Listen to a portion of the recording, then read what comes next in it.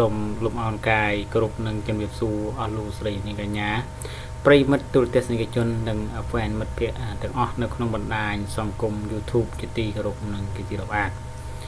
បាទសូមស្វាគមន៍សាច់ថ្មីមកកាន់ Channel ខ្មែរ History បាទ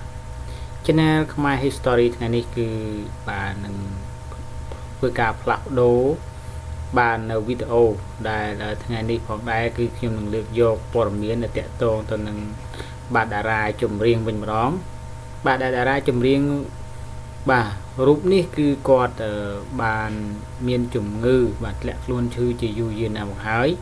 ហើយគាត់ក៏ជាតារាចម្រៀងម្នាក់ដែលមានកេរ្តិ៍ឈ្មោះល្បីល្បាញមានទឹកដមសំនៀងដល់ក្រួនក្រៅផងដែរតើនោះគឺគាត់ជានរណាទៅបាទគាត់គឺជាបាទតារាចម្រៀងឈ្មោះថាស៊ូសងវិចា បាទដែលស៊ូសងវិចានេះគឺគាត់មានជំងឺបាទលើសសម្ពាធឈាមដែលគាត់ធ្លាក់ខ្លួនពីក្រាអាពីការរហូតដល់តែអឺมันអាចច្រៀងកើតបាទគាត់បានអង្គុយត្រឹមតែលើរទេះរុញតែប៉ុណ្ណោះបាទឥឡូវនេះគឺលេចលឺនៅព័ត៌មានមួយ ដែលខ្ញុំបានធ្វើការដកស្រង់ចេញពីគេហទំព័ររបស់បាទ website កោះសន្តិភាព បាទហើយខ្ញុំនឹងសូមរក្សាសិទ្ធទាំងដើមទាំងស្រុងបាទដែលគាត់បាន បាទដែលលោកសសួរសងវិចារគឺគាត់បានស្នើសុំទៅប្រមុខដឹកនាំបាទប្រទេសនៅរឿងបាទនៅរឿងមួយ បាទតើគាត់ស្នើសុំនឹងរឿងអ្វីទៅដូច្នេះសូមអញ្ជើញអឺប្រិយមិត្តទូរទស្សនិកជននិង fan ទាំងអស់រីករាយសម្ដាប់ទស្សនាជាមួយនឹងព័ត៌មាននេះបាទតាមរយៈវីដេអូនេះផងដែរក្រោយពីបញ្ចប់នៅ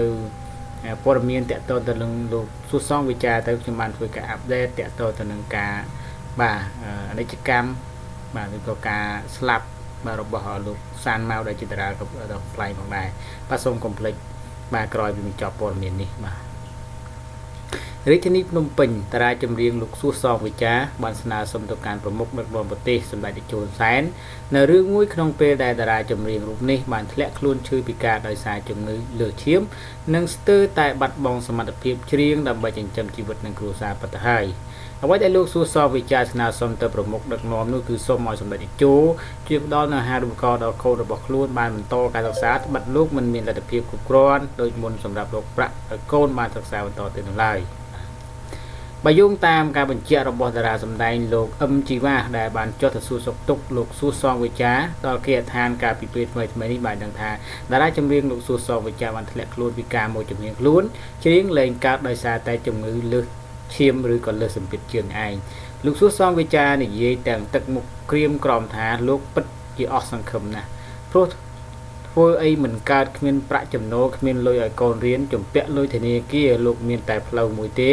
គឺសូមឲ្យសម្ដេចតេជោនសែនផ្ដល់អាហារូបករណ៍ឲ្យកូនគាត់បានរៀនផងបាទបើតាមលោកសួសសងវិចាក្នុងពេលបាទ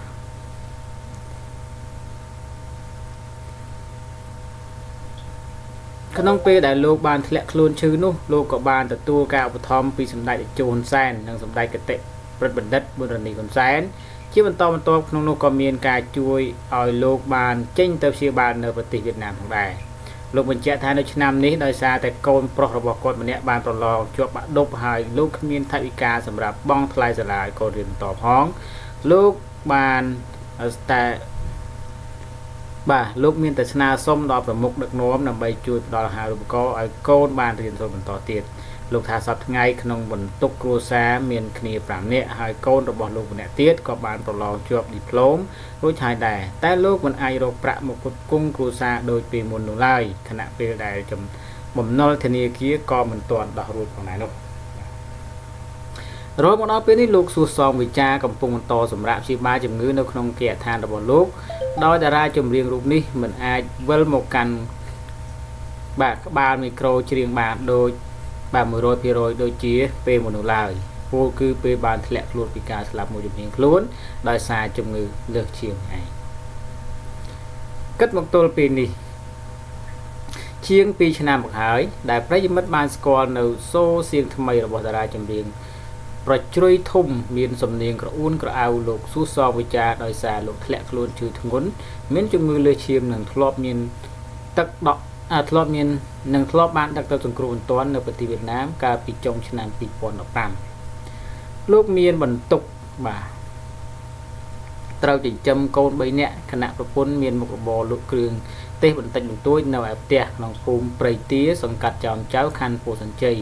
តែនៅពេលធ្លាក់ខ្លួនឈឺរូបលោកក៏បាត់ឱកាសរកប្រាក់ចំណូលពីការច្រៀងហើយជួបវិបត្តិអិរញ្ញវត្ថុរហូតមកទល់ពេលនេះលោកសួរសមវិចារគឺជាតារានិយម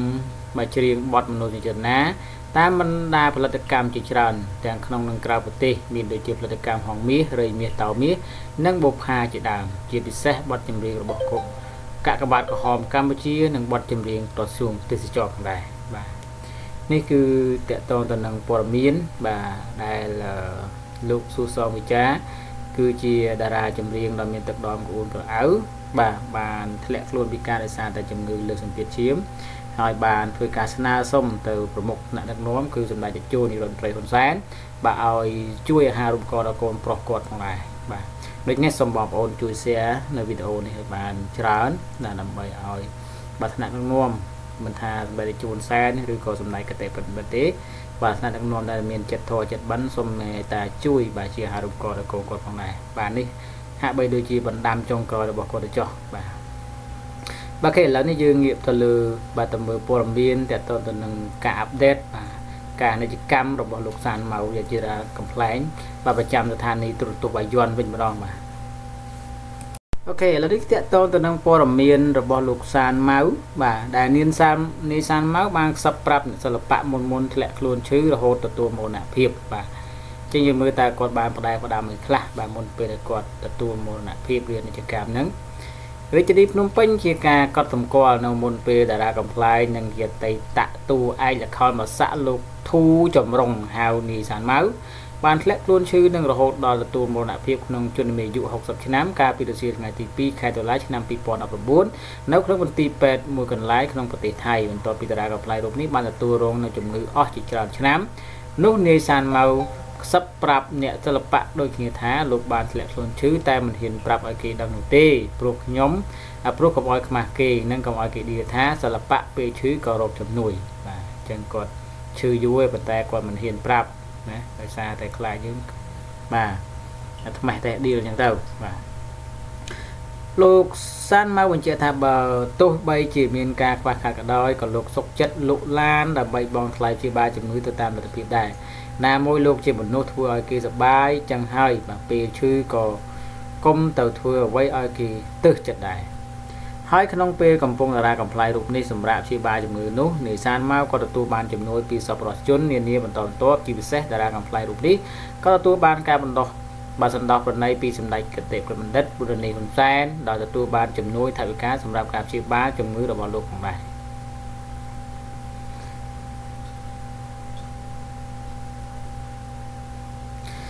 សូមបញ្ជាក់ដែរថាសពតារាកំ pl ែងនីសានម៉ៅ បានដឹកពីប្រទេសថៃមកដល់ឃាតឋានកាលពីវេលាម៉ោង3រសៀលព្រឹកថ្ងៃទី3ខែតុលា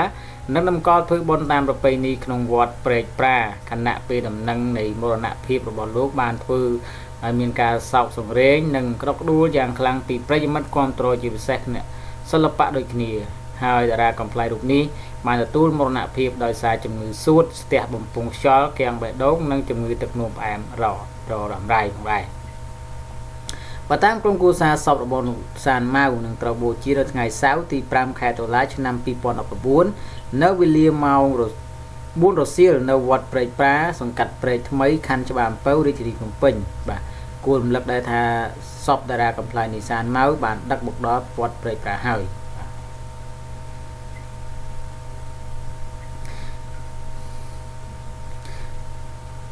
នេសានមកគឺជាតារាកំ pl ែងមួយរូបដែលមានប្រិយប្រជាប្រិយភាពបាទដូចគ្នាទៅនឹងតារាកំ pl ែងនៃកុយនៃក្រឹមហើយលោកក៏បានបង្ហាញខ្លួនបាទចូលរួមសម្ដែងស្ទើរមិនដាច់បាទជាមួយនឹងក្រុមនៃកុយនិងនៃក្រឹមមិនថាតាមកញ្ចក់ទូរទស្សន៍ឬតាមបណ្ដាខេត្តនោះទេលោកក៏ជាតារាកំ pl ែងមួយរូបដែលចេញពីតួឯកលខោនបាសាក់ដែលចេញពីវងលខោនបាសាក់វត្តចំពុះឯកនាទសវត្សទី80ផងដែរ ហើយគណៈពេលដែលលោកបានងាកមកចូលរួមលេងកំ pl ែងវិញក្នុងអំឡុងទសវត្សរ៍ទីឆ្នាំ90ដែលមានរហស្សនាមនាយសានម៉ៅឬសេដ្ឋីអ៊ូរ៉ាន់ជារឿយៗបើទោះបីជាលោកដូរបាទមកសម្ដែងនឹងលេងកំ pl ែងក៏ដោយក៏លោកតែងតែភ្ជាប់នៅការស្រែកច្រៀងចម្រៀងល្ខោនបាសាក់ជាបន្តបន្ទាប់ត្បិតលោកគឺជាអ្នកសិល្បៈដែលផ្ដើមចេញពីតួឯកល្ខោនបាសាក់ដែលអាចច្រៀងបានយ៉ាងពិរោះផងដែរ នេសានមកក៏បានបាទពើប្រទះជំងឺទឹកនោមផ្អែមអស់ជាច្រើនឆ្នាំមកហើយគណៈពេលតារាកំ pl ែងរូបនេះត្រូវបានក្រុមគូសាដឹកទៅកាន់មន្ទីរពេទ្យសង្គ្រោះបន្ទាន់កាលពីថ្ងៃទី17ខែមិនិនាឆ្នាំ2018បន្ទាប់ពីលោកបានធ្វើទុកបាទស្លឈាមនិងមានស្ថានភាពធ្ងន់ធ្ងរ ប៉ុន្តែក្រោយពីការព្យាបាលពីក្រុមគ្រូពេទ្យនៅប្រទេសថៃតារាកំ pl ែងរូបនេះក៏មានអាការៈធូរស្បើយមួយរយៈតែលោកមិនអាចនិយាយអ្វីបានឡើយដោយសារតែលោកត្រូវបានវះបំពង់កដើម្បីជំនួយក្នុងការដកដង្ហើមនិងត្រូវការបាទលាងឈាមបាទ2សប្តាហ៍ម្ដងបាទអូធម្មតាទេបាទអញ្ចឹង2សប្តាហ៍ម្ដងលាងឈាមណាបាទអញ្ចឹងអឺនេះ គាត់មានជំងឺច្រើនមុខណាស់គឺ3ទៅ4មុខនោះ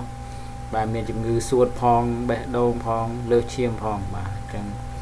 គឺច្រើនមុខបាទអញ្ចឹងនេះគឺជារឿងរ៉ាវដែលតកតទៅនឹងបាទជីវិតបាទតារាកំប្លែងនាយសានម៉ៅបាទអឺដែលលោកអ្នកធ្លាប់តែបានសើចនៅសំណើចនៅរឿងរបស់គាត់ដែលគាត់សម្ដែងនៅក្នុងបាទឋានីយទូរទស្សន៍ឬក៏បណ្ដាអឺ កម្មវិធីផ្សេងផ្សេងបាទឥឡូវនេះគឺគាត់ទទួលមោណាភាពបាទដោយសារតែជំងឺទឹកនោមផ្អែមផងបេះដូងផងអីផងបាទច្រើនមុខបាទហើយគាត់គឺពីដើមឡើយគឺគាត់ជាអ្នកបាទសិល្បៈនខោភាសាទេបាទចាអរគុណចំពោះការតាមដានសម្ដាប់ពីប្រិមិត្តបាទនិងទស្សនិកជននិងហ្វេនអស់បាទបើសិនជាមានការខុសឆ្គង បើដូចជាការអធិប្បាយឬក៏ការអាននៅអក្សរវិរុទ្ធមិនសមរម្យបាទឬក៏ខុសបាទសូមមេត្តាខន្តីនៅភ័យទោសពីសំណាក់ខ្ញុំបាទបាទគណៈពេលនេះខ្ញុំបាទសូមជម្រាបលាសូមអរគុណបាទជួបគ្នានៅវីដេអូបន្តបន្ទាប់បាទនៅក្នុង channel ខាសូមនៅក្នុង channel ខ្មែរ story ដែលតកតងទៅនឹងប្រវត្តិសាស្ត្រខ្មែរតកតងទៅនឹងចំណេះដឹងតកតងទៅនឹងការរកប្រាក់តាម YouTube បាទតកតងទៅនឹង my activity សកម្មភាពរបស់ខ្ញុំផងដែរ បាទសូ